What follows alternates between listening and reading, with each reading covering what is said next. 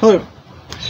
So in this video, we're going to talk about a creative writing exercise. Um, you could do this as a sort of opening free write for a, a creative writing class period if you wanted to, or you could expand this. You could make this a whole class activity if you wanted to. You could make this homework assignment, whatever it is. Um, this is has vast generative potential. And there's a lot of variations actually of this activity. Uh, it's basically a, memor- a memory exercise. Um, I've I've heard versions of this where you sort of reach into a bag of memories. This is all mental. You're envisioning this. You reach into a bag of memories.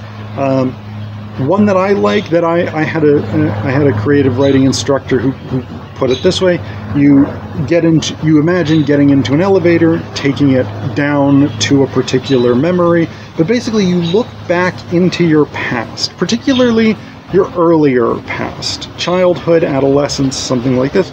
Um, further back, more recent memories, it doesn't work quite as well with because your your mind hasn't messed with them to make of them whatever it will make of them yet. Um, but you look back into your past, particularly your earlier past, and you choose a memory. It doesn't have to be a memory that immediately jumps out at you as poetic or as a good story that someone would be interested in. Just a memory that's very stark in some way for you. So, for instance, I, I have this memory um, when my sister and I were younger, we went to uh, Boca Raton uh, in Florida to to visit my grandpa, and we found a coconut, and we thought this coconut was fascinating for whatever reason. Like we took this coconut uh, back to the condo, we did. I, we were doing like experiments with it, like we filled the bathtub with water and tried to submerge it, and coconuts float uh, pretty well. So it like we were doing this kind of stuff, and finally uh, we decided we were going to eat it. So I I just I have this memory of my dad with a screwdriver trying to like chisel into this into this coconut and just having a, an incredibly difficult time with it. Because it had the hard outer like coconuts have a hard outer shell and then a slightly less hard inner shell around the actual meat and, and milk. Um, and eventually my dad was able to like chisel through this coconut um, and we got what seemed like a really tiny amount of coconut milk out of it. I think he probably like broke it at some point and, and a bunch of the milk had spilled out. But we got a little bit of coconut milk. And today I quite like coconut milk, but at the time I remember it was disgusting. Like I I didn't I didn't like it. I don't think my sister liked it either.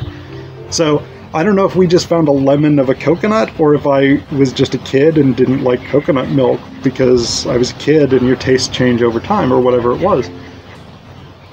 But that would be so. That's the thing. It's a, not a very interesting story necessarily, um, and it doesn't immediately lend itself to something like a poem or a short story or something like this. But the the thing you you do with this writing exercise is you just pick that memory and you say, all right, I'm going to write this down. I'm going to write this memory out.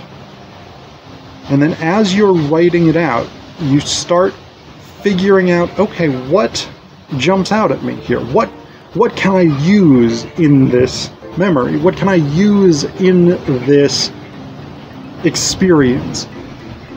What might someone else care about? What might resonate with someone else? And so your first draft is likely just going to be a sort of straight writing out of that memory. Whether you do it in, I would probably do it in prose, but you could also try doing it in verse as a first draft.